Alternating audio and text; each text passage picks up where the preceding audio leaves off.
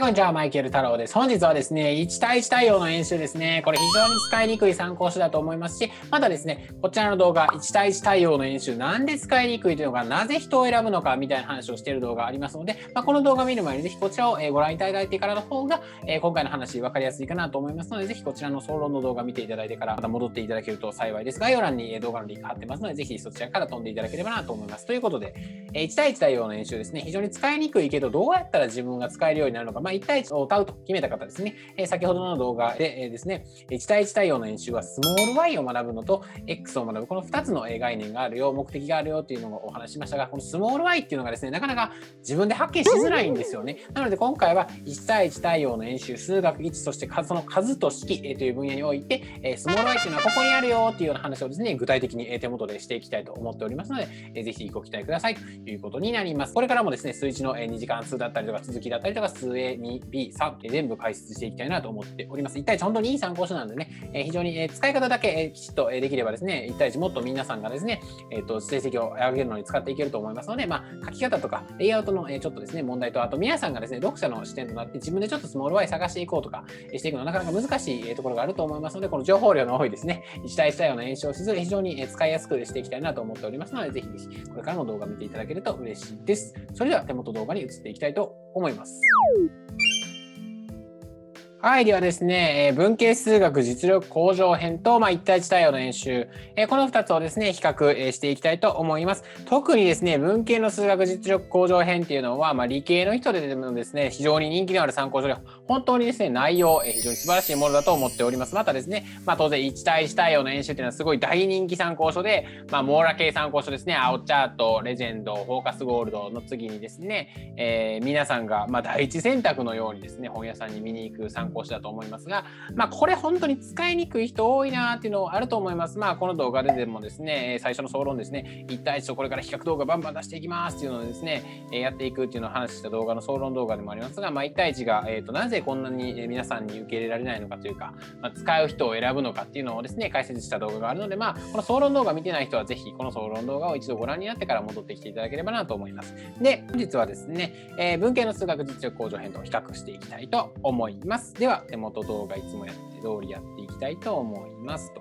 はい、えー、1対 1vs 文系の数学実力向上編ということになりますが、まあ皆さんですね、文系の数学を使おうかな、実践力向上編を使おうかなと悩んでいらっしゃる方はですね、最大の悩みは1対1解説むずみたいなところだと思うんですよ。めちゃくちゃわかります。僕もですね、実際に、えーと、1対1対応の演習ですね、現役時代手を出したことはありましたが、失敗しました。はい、当然解説むずすぎるんですよね。そうなんですよ。めっちゃ解説難しいんですよね。まあですね、えー、それに関しましては、まあ、1対1ですね、数学1の部分で 2B の話をちょっと使って解説したりっていうところがあったりするので、まあ、その部分は飛ばしておいていいよみたいなのは、えー、今度の動画でですね、この1対1対応の演習ですね、しかも数学1、しかも各分野のですね、使い方ですね、ここの問題はここはスモール y だから押さえておこうだとか、今スモール y と聞いて何？ってなった人はぜひ総論の動画をご覧ください。で、またですね、まあ、ちょこっとした解説のところなんだけど、これ 2B の内容をがっつり使ってるから、今はここは飛ばしておいていいよだとか、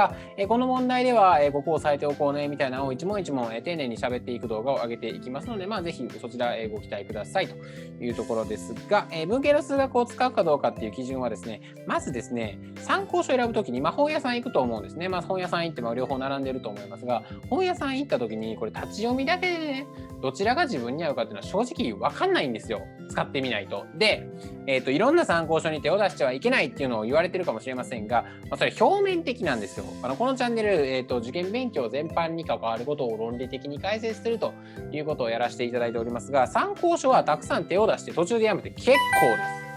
結構です。えと思う方多いかもしれませんが結構でございます。その理由解説していきたいと思いますですね。何かというとですね、だって1対1対応をやる前に1対1対応が自分に合うかどうか分かんないし、文系の数学実践力向上編をやる前に自分に合うかどうか分かんないじゃん。っていうことで、まずですね、もう普通に、まあ、数学1から始めると思うので、これ2冊買ってきたらいいと思います。で、どちらか途中でやめてもいいと思います。今だったらメルカリとかで売ることもできるし、本屋さんで立ち読みしても絶対分かんないんだよ。で、片っぽだけでやっちゃって、で、片っぽ自分は買ったんだから最後までやらなければならないみたいな感じで思ってですね、そういうあの先入観にとらわれてですね、やるとどういうことが起きるかっていうのをですね、えー、喋っていきたいと思いますが、これ本当に多くの受験生、まあ自分も含めてです。僕もこれ死ぬほどやったんですよ。で、参考書結構買ったけど全然成績が伸びないみたいな、本当によくある失敗っていうのをですね、数学的に分析していきましょう。ちょっとグラフにしてみました。はい。えっ、ー、と、その要は、えっ、ー、と、一冊自分の買った参考書をやりきらなきゃならないっていう偏見にすごい縛られてる人がどういうことになるかというと、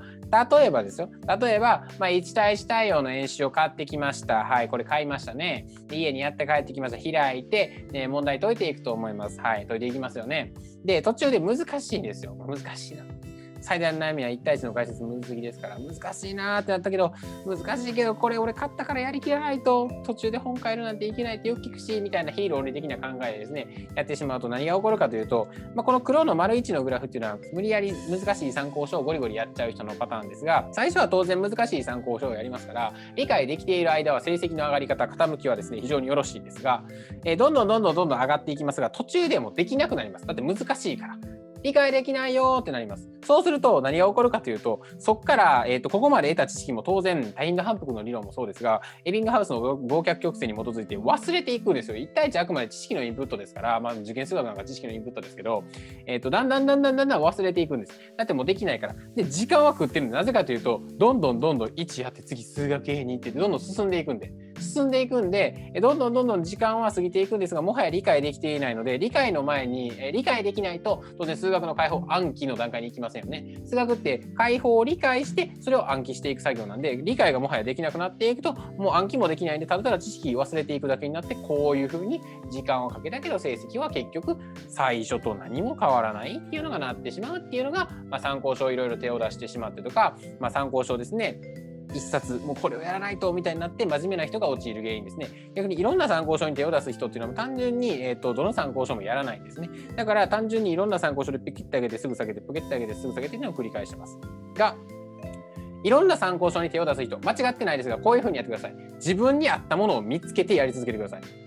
OK ですか？なのでいろんな参考書を買う分には悪くないっていうといろんな参考書を爆買いする人もいるかもしれませんがそうではなく自分に合った参考書を見つけてあげていってください。例えば1対1の1対1対応の演習を買ってきました。はい難しかった。はい。ここまで上がったんだけどあれ無理だなって言ってこうやってちょっと減少したところを自分で気づくと思うんですよね。ってなったらこれ多分無理なんですよね。なので、なので、1対1で理解できたところまでっていうのがあると思うんですよ。そこまでは、えー、タイン反復で回してみてください。回してみてください。今度せっかく入れた知識を忘れないよね。で、次の参考書を散策してください。で、散策してちょっとこれやろうかなみたいな、散策するときはまあ僕の、えー、と再生リストからですね、えー、と参考書いろいろ数学は解説してますので、まあ、見ていただければなと思いますが、でですね、これをちょっとやろうかなと思ったと。なったときはまずですね、1対1のこの部分ですね。この部分はこの参考書のどこに載っているんだろう。まあ、同レベルの参考書と同じようなこと同じようなことが書いてますから、まあ、実数詐欺の話も両方にも載ってますし、まずそれを一つ一つ写していってください。あ、この本、1対1で学んだこの内容は、文系の数学実践力向上編にはこっちに書いてある。みたいなことをですね、えー、一つ一つ、えーとまあ、写し替えていってください。で、写し終わったらもうこれは、えー、ご用おさらばです。で、このご用おさらばってなるときに、まあ、せっかく買ったのになとかいろんなこと思うかもしれませんが、知れませんが、とかいう、そのせっかくのもったいないよなっていう何の理屈もないですね、非論理的な、えーと、先の先入観に、えーと、もとらわれてやってしまうと、このまま成績が下がっていくので、もう潔くありがとうって言ってメルカリに出しましょう。はい、いいですか？で、でこれをやります。で、これが自分に合っていた場合どうなるかというと、自分に合った参考書というのをきちんと見つけてください。だから1対1難しかったらこちらに移行するっていう、えーと、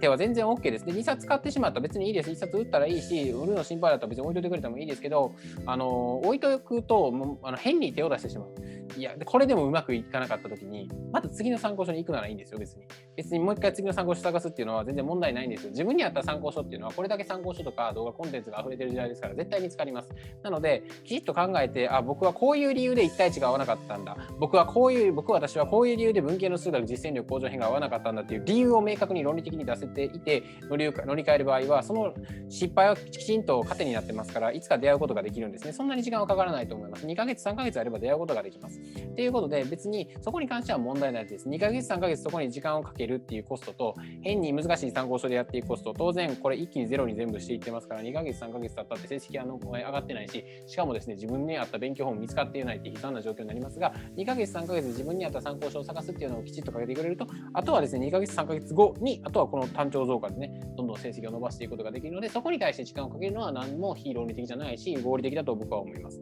で、見つかったらですね、自分に合った参考書見つかればそれをやり抜いてくださいね。それは頑張ってください。で、成績どんどん伸ばしていってくださいということで、じゃあ、自分に合った参考書が文系の数学実践力向上編になるかもしれないと思ってる人にですね、今回はもうちょっと深掘りして喋っていきたいと思います。で、まあ、皆さんの悩みはですね、1対1の解説がむずすぎというところですが、1対1の、え解説むずすぎっていう場合は、僕がこれから出していく1対1の解説動画っていうのをどんどん上げていきたいと思っております。まあ、そちらご覧になって、1対1、えまだいけそうだなって思う人はそっちでやっていただいても結構ですし、ちょっと厳しいなみたいなことをですね、思っている人は、文系の数学の実践力向上編っていうのに行っていただいても結構です。ということで、ちょっと差を比べていきましょう。えー、まあ難易度としてましては、1対1の方が若干上に行きます。はい。ちょっと上に行くんですが、まあ、問題数比較すると1対1の例題249問、文系の数学実践力向上編90問です。大きな差があります。なので、直前期で時間ない人は絶対に青になります。青の文系の数学ですね。こちらですね。実践力向上編っていうのがま選択肢になってくるかなと思います。で、まあ、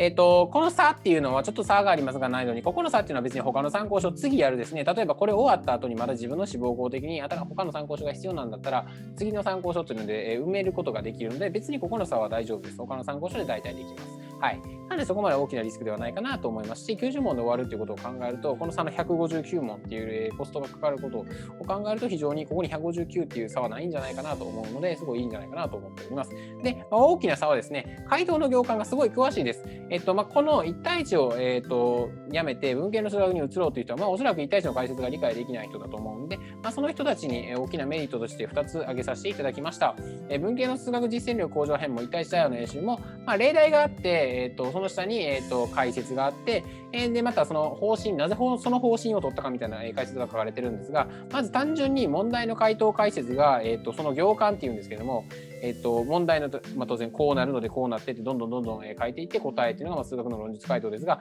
なんでここからここに飛べるのっていうのがよくあると思うんですよ数学の回答解説読んでたら。そこが詳しく1対1よりは圧倒的に詳しくこっちの方が書かれてます、まあ、23倍詳しいと思います。文系の数学の実践力講座にも非常に詳しく書かれていますもう一つですねなぜその方針取ったのっていうのはあると思うんですね。そのなぜ方針と、その方針取ったのっていうのも一対1も書かれてはいるんですが、まあ、それもですね、文系の数学実践力向上編の方が圧倒的に詳しく、まあ、2、3倍ぐらい丁寧に書かれています。なので、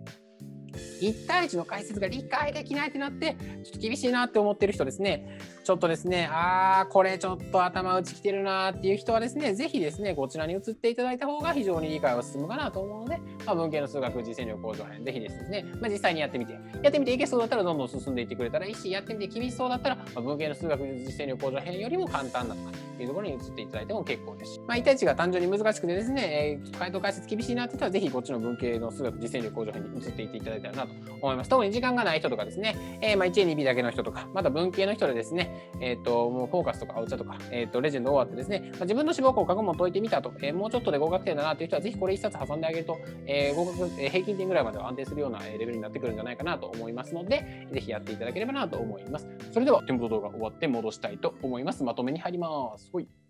はい、いかがだったでしょうか？えー、これからもですね、この当然続きもですね、A、数2、数 B と、え、続きどんどんどんどん動画開けていこうと思っておりますので、まだ改善点等ありましたら、え、コメント欄で教えてください。はい、こんな感じで夢サポムービーズでは受験勉強を論理的に語るということをやらせていただいております。明日もあなたのお悩みをですね、論理的に解決していきたいと思っておりますので、ぜひぜひ高評価とチャンネル登録の方をして、え毎日動画見ていただければな幸いです。えまた僕たちはえシェアリングナレッジという教育サービスをえ東大、え京大医学部、え阪大首席合格者の面々と行っております。え共通テスト英語のえ論と例、ワンパラグラフ、ワンアイデア、英語の情報構造といった数学的に英語を解こうという企画だったりとか、えマスマップですね。まあ、Y って本当に今回もかなりおしゃべりしましたが、スモール Y ではなくて、小枠みたいなものをもっといろんな分野でもっとわかりやすくっていうのをえコンセプトに作ったマスマップというのも、え限定コンテンツからえシェアリングナレッジ内ではえ公開させていただいております。ぜひ興味ある方はえ概要欄から1週間無料体験にご参加ください。また年間計画等々もですね、論理的に立ててほしいという方は、ぜひえ1週間無料体験ご参加いただければなと思います。いつもコメント、高評価、本当にありがとうございます。コメントに関しては全て返信させていただきますので、ぜひぜひコメントとかですね、えー、今回の動画に対するご意見、えー、ご感想など、えー、こんな動画作ってほしいなど、えー、いただけると、えー、僕たちも参考にして、どんどんどんどんそういう意見を取り入れていこうと思っておりますので、ぜひよろしくお願いいたします。それではまた明日お会いしましょう。マイケル太郎でした。バイバイ。